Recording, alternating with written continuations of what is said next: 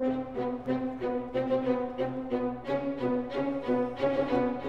Mrs. Rorer was a bride, she kept her husband well supplied with every appetizing dish that any hungry man could wish. And so when Babs came round his way and did their best to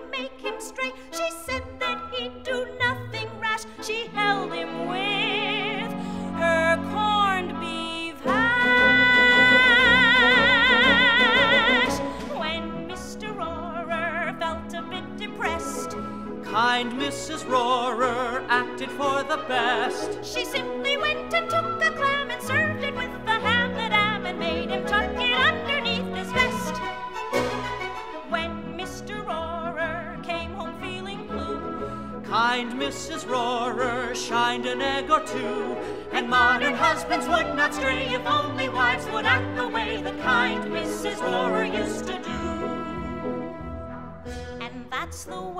too would do to keep my husband fond and true. I'd feed him all the time. You would continue, kid, this listens good. We'd sit together hand in hand and talk of Chicken Maryland. What sweet romance would never skid? I'd do as Mrs.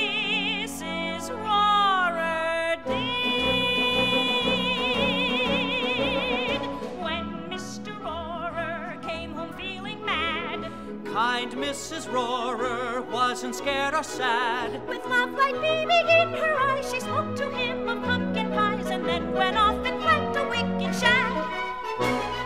When Mr. Rorer said that he was blue, Kind Mrs. Rorer filled him up with stew, and there'd be no divorce today if only wives would act the way the kind Mrs.